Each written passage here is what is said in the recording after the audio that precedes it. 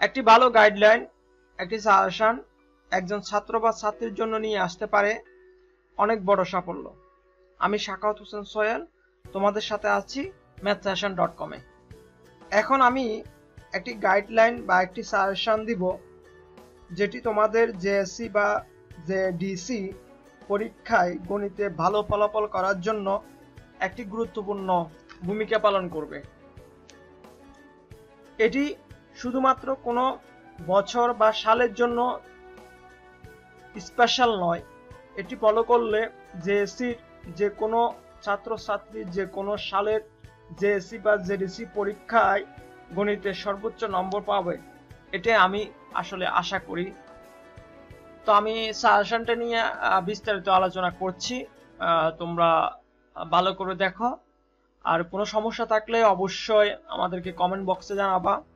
আমাদের ম্যাথসাজেশন dot com এর একটা ফেসবুক পেজ আছে ওখানে কানেক্ট হয়ে যোগাযোগ করতে পারো অথবা আমাদের ম্যাথসাজেশন ডট কম এর আহ, নির্দিষ্ট কন্টাক্ট পেজ আছে সেখানে গিয়েও যোগাযোগ করতে পারো। তো ঠিক আছে আমরা তাহলে শুরু করি। আর যারা আমাদের চ্যানেলে এখনও নতুন সাবস্ক্রাইব করনি সাবস্ক্রাইব বাটনে ক্লিক করে নোটিফিকেশন বেলটি অন করে রাখবে। তোমরা নিশ্চয় জানো যে জেএসসিতে ম্যাথ কোশ্চান পেপারে এগারোটি প্রশ্ন থাকে। তার থেকে ষাটটি প্রশ্ন আনসার করতে হয়। মোট চারটি অংশ থেকে প্রশ্ন আসে। একটা হচ্ছে পাটিগণিত, একটা হচ্ছে বীজগণিত, একটা হচ্ছে জ্যামিতি, একটা হচ্ছে পরিসংখ্যান। তো পাটিগণিতকে আবার তিনটি ভাগ করছে, একটা হচ্ছে প্যাটার্ন একটা হচ্ছে মুনাফা। একটা হচ্ছে পরিমাপ। তো পাটিগণিত থেকে তিনটি কোশ্চেন আসে। ওইখান থেকে দুটি কোশ্চেন আনসার করতে হয়। তো যারা বেশি ভালো ম্যাথে অবশ্যই আমি সাজেস্ট করব তাদেরকে তিনটি অংশ ভালো করে করার জন্য। আর যারা মোটামুটি ম্যাথে ভালো, তাদেরকে আমি সাজেস্ট করব যেন প্যাটার্ন এমন পরিমাপটা ভালো করে করে। অথবা তাদের মধ্যে যারা মুনাফাটা ভালো, মুনাফা এবং পরিমাপটা ভালো করে করে, তবে মুনাফা দুটি অংশ আছে, একটা হচ্ছে সরল মুনাফা, একটা হচ্ছে চক্রবৃদ্ধি মুনাফা। দুটি অংশ ভালো করে করতে হবে, তবে পাটিগণিতে একটা সুবিধা হচ্ছে, তিনটি অংশ থেকে আমাদের সৃজনশীল কোশ্চেন আসে।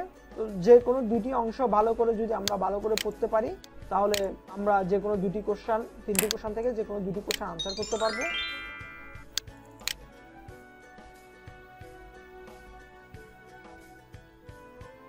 এবার আসা যাক বীজগণিত। বীজগণিতেও তাও পাটিগণিতের মতো তিনটি কোশ্চেন থাকবে, সেখান থেকে দুটি কোশ্চেন আনসার করতে হবে। বীজগণিতের চারটি অংশ বিভক্ত, একটা হচ্ছে বীজগণিতীয় সূত্রাবলী একটা হচ্ছে বীজগণিতীয় ভগ্নাংশ আরেকটা হচ্ছে সরল সমীকরণ আরেকটা হচ্ছে সেট তো পরীক্ষার জন্য বেশি ইম্পর্টেন্ট হচ্ছে বর্গের সূত্র আর ঘনের সূত্র। এই দুটো অংশ থেকে একটা কোশ্চেন আসতে পারে, অথবা লসাগু গসাগু থেকে একটা কোশ্চেন আসতে পারে। আর উৎপাদকের বিশ্লেষণ হচ্ছে এই লসাগুর জন্য সরল অঙ্কগুলোর জন্য। বীজগণিতীয় বর্ণাংশ থেকে এখানে সমহরবিষ্ট বর্ণাংশ এবং সরলটা ভালো করে দেখতে হবে। আর যোগ, বিয়োগ, গুণ বাদ এগুলো মূলত সরল অঙ্কের জন্য লাগে। দেন হচ্ছে আমাদের সরল সহ সমীকরণ। এখানে প্রতিস্থাপন আছে, অপনয়ন আছে, আর লেখচিত্র আছে। তিনটি মিলে একটি কোশ্চেন আসতে পারে। এটা মাস্ট আসে। দেন হচ্ছে সেট সেটের দিকে লক্ষ্য রাখি, এখানে হচ্ছে সেট প্রকাশের পদ্ধতি। সেটের মান নির্ণয় এবং ব্যানচিত্রের মাধ্যমে সেট তো এখান থেকে একটা কোশ্চেন আসতে পারে, নাও আসতে পারে। তো আমাদের বেশি প্রিপারেশন নিতে হবে বর্গের সূত্র, গণের সূত্র এবং সরল সমরবিষ্ট বর্ণাংশ। দেন এটার প্রত্যেকটি অংশ প্রতিস্থাপন, অপনয়ন, লেখচিত্র। সে যাদের কঠিন লাগে তাদেরকে আপাতত করার দরকার না তো করলে হচ্ছে নৈবিতিকের জন্য ভালো। দেন এবার হচ্ছে আমাদের জ্যামিতি। জ্যামিতিও তাও তিনটি কোশ্চেন থাকে। সেখান থেকে দুটি কোশ্চেন আনসার করতে হয়। জ্যামিতিকে তিনটি ভাগে বিভক্ত করা হয়েছে। একটা হচ্ছে চতুর্ভুজ, একটা হচ্ছে পিথাগোরাসের উপপাদ্য, একটা হচ্ছে বৃত্ত। জ্যামিতিতে যেহেতু তিনটি কোশ্চেন আসে, সেহেতু তিনটি অংশ থেকে যে কোনো দুটি অংশ যদি ভালো করে প্রস্তুতি নেওয়া যায়, তাহলে অবশ্যই আমাদেরকে পরীক্ষার খাতায় কষ্ট করতে হবে না, সুন্দর করে দুটি কোশ্চেন আনসার করা যাবে। চতুর্ভুজের ক্ষেত্রে এখানে উপপাদ্য আছে, সম্পাদ্য আছে। তো আমাদের যতগুলো সম্পাদ্য আছে এখানে পাঁচ, ছয়টা, সবগুলো চতুর্ভুজ সম্পর্কিত, অন্য কোনো সম্পাদ্য নেই এখানে। তাহলে সম্পাদ্য একটা মাস্ট কনফার্ম যে পরীক্ষা আসবে। দেন হচ্ছে উপপাদ্য। উপপাদ্য, এটা এবং পিতাগরাসের উপপাদ্য, ত্রিভুজ সম্পর্কিত উপপাদ্য। এই দুটি অংশ থেকে একটা কোশ্চেন আসতে পারে। বৃত্ত থেকে একটি কোশ্চেন মাস্ট আসবে। বৃত্তের মধ্যে যা সম্পর্কিত একটি কোশ্চেন থাকে বা কয়েকটি উপপাদ্য আছে এখানে যা সম্পর্কিত। তাহলে আমরা অবশ্যই সম্পাদ্যটা শিখব। দেন উপপাদ্যটা শিখলে আমাদের দুটি কোশ্চান মাস্ট কমন পড়বে। আর যারা পিতাগরসটা ভালো বুঝো, অবশ্যই পিতাগরসটা করবা। দেন হচ্ছে আমাদের তথ্য উপাত্ত। এখানে দুটি কোশ্চেন থাকে। ওটা থেকে আমাদের একটি কোশ্চেন মাস্ট আনসার করতে হয়। তো এখানে বিন্যস্ত, অবিন্যস্ত উপাত্ত দেওয়া থাকে। কখনো বিন্যস্ত দেওয়া থাকে, কখনো অবিন্যস্ত দেওয়া থাকে। সেটা যদি অবিন্যস্ত দেওয়া থাকে, সেটাকে আমরা বিন্যস্ত করে ট্যাবল আকারে করে আমাদের উদ্যোগ, প্রচুরক কমযোজিত সংখ্যা আয়ত লেখক গ নির্ণয় করতে হয়। ইভেন পাচিত্র নির্ণয় করতে হয়। তো আমার একটা সাজেশন থাকবে, একটা অবিন্যস্ত উপাত্ত নিয়ে সেটাকে বিন্যস্ত করে মধ্যক, প্রচুরক কমযোজিত সংখ্যা গ, সংক্ষিপ্ত পদ্ধতিতে গ এবং আয়ত লেখ পাচিত্র আঁকার চেষ্টা করতে হবে। পাচিত্র থেকে ভিন্ন দাসের একটা কোশ্চেন আসতে পারে। এটা হচ্ছে একটা পাচিত্র দেওয়া থাকে। ওই পাচিত্রের বিভিন্ন অংশে অ্যাঙ্গেল বা কোণ দেওয়া থাকতে পারে অথবা সংখ্যা দেওয়া থাকতে পারে। সংখ্যা দেওয়া থাকলে এটাকে কোণে নিয়ে যেতে বলে, কোণের মান নির্ণয় করতে বলে। আর কোণ দেওয়া থাকলে অবশ্যই আমাদেরকে সংখ্যা নিয়ে যেতে বললে তাহলে এবার আমরা একটা কোশ্চেন প্যাটার্ন দিকে লক্ষ্য করি। এখানে পাটিগণিত থেকে দুটি দিতে বলছে, বীজগণিত থেকে দুটি এবং জেমি থেকে দুটি এবং পরিসংখ্যান থেকে একটি করে মোট ষাটটি কোশ্চেন আনসার করতে বলছে। তো এই জিনিসটা পরে জিনিসটা অবশ্য ভালো করে করে নিতে হয়। যদি বলে যে কোনো ষাটটি প্রশ্নের আনসার উত্তর করো, তাহলে তুমি যে কোনো ষাটটি প্রশ্নের আনসার বা উত্তর করতে পারবে।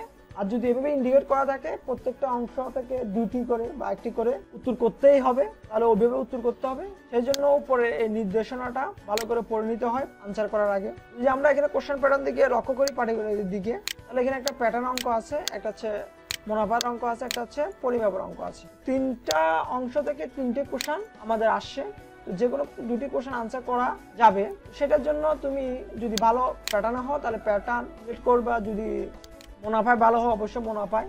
এবং যদি পরিমাপে ভালো করা যায় বা পরিমাপে ভালো হও, তাহলে পরিমাপ থেকে আনসার করা যাবে। যে যে অংশে ভালো অংশটাকে আনসার করার চেষ্টা করতে হবে।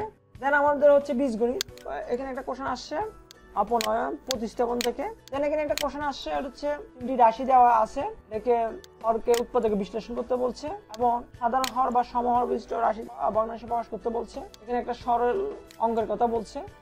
দেন হচ্ছে আমাদের বর্গের সূত্র এবং ঘনের সূত্র থেকে একটা কোশ্চেন আসছে দুটি মিলিয়ে, অর্থাৎ বীজগাণিতীয় সূত্রাবলী উপয়োগের থেকে। তাহলে এখানে লক্ষ্য করা যাচ্ছে, একটা আসছে সমীকরণ থেকে, একটা আসছে সরল থেকে।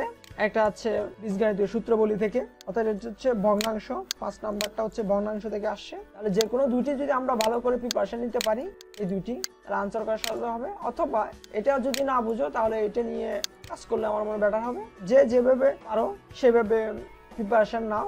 যে যে অধ্যায়ে ভালো, সেই অধ্যায়গুলো ভালো করে প্রিপারেশন নিতে হবে। তাহলে পরীক্ষার খাতায় বসে থাকতে হবে না আমাদের। আমরা উত্তরপত্র সুন্দরভাবে লিখে আসতে পারব। এবার যদি আমরা জেমিতির দিকে তাকাই তাহলে এখানে সামান্তরিকের কথা বলা হয়েছে, অর্থাৎ চতুর্ভুজে সামান্তরিক এক ধরনের চতুর্ভুজ। দেন এখানে ত্রিভুজের কথা বলা হয়েছে এবং এটার দিকে লক্ষ্য রাখলে দেখা যাচ্ছে, এটা পিতাগরাসের সূত্র। তাহলে এখানে পিতাগরাসের সূত্র থেকে আসছে একটা ত্রিভুজ থেকে আসছে। দেন এখানে আসছে যে আমাদের সম্পাদ্য। সম্পাদ্য মাস্ট একটা আসবে। সম্পাদ্য কয়েকটা যা আছে, সবগুলো চতুর্ভুজ সম্পর্কিত। সম্পাদ্য এবং যদি পিতাগরাসের উপাদ্যটা ভালো করে শিখতে পারি, তাহলে যে কোনো একটা কোশ্চেন আসতে পারে। বৃত্তটা আমাদেরকে শিখে রাখতে হবে। দেন আসলাম পরিসংখ্যানে। এখানে প্রত্যেকটা উপাত্ত দেওয়া আছে আমাদের বিন্যস্ত করা। তো এখানে কেন্দ্রীয় প্রবণতা পরিমাপ নির্ণয় করতে বলছে। কর্মসূচির সংখ্যা নির্ণয় করতে বলছে, গাণিতিক গড় বা সংগীত পদ্ধতির গড় নির্ণয় করতে বলছে। দেন এখানে আছে আমাদের তাও একই, মধ্যক বলতে কি বুঝাচ্ছে, তারপর গাণিতিক গড় আয়তক লেখার অঙ্কন করতে বলছে। তাহলে আমরা আয়ত লেখক গাণিতিক গড়, কর্মসূচির সংখ্যা ও অপচুরক এবং পাচিত্র পাচিত্র থেকে সংখ্যা নির্ণয়, এগুলো ভালো করে শিখে নিতে হবে। অবিনস্ত দেওয়া থাকলে ওখান থেকে বিনস্ত করতে হবে আমাদের। তাহলে এবার কোশ্চেন প্যাটার্নটা গেল। আর তোমরা যদি চাও আমাদের সাজেশনটি আমাদের ম্যাথসেশন ডট কম থেকে ডাউনলোড করে রাখবে। তাহলে তোমরা ম্যাথসেশন ডট কমে গিয়ে যে সিট যে ট্যাবটি আছে সেটিতে ক্লিক করে আমরা যখন আপডেট দিব ম্যাথ সেশন মানে জেএসসি সেশনটা তোমরা ডাউনলোড করে নিতে পারবে।